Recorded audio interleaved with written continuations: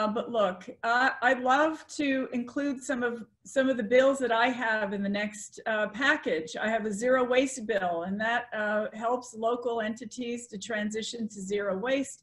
Uh, we have the 100% Clean Economy Act that would transition to a clean economy by 2015.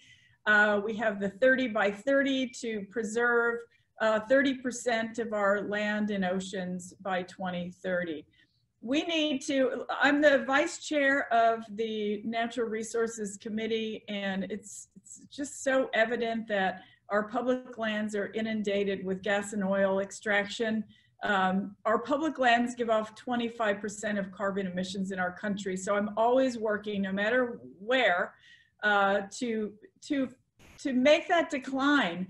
Uh, that is unreasonable to have 25% of carbon emissions coming from our public lands. That's because there's not enough uh, green energy projects in far too many um, oil extraction projects. So we're always wor working to make sure that we can protect our public lands uh, for, uh, for people who deserve to enjoy our public lands.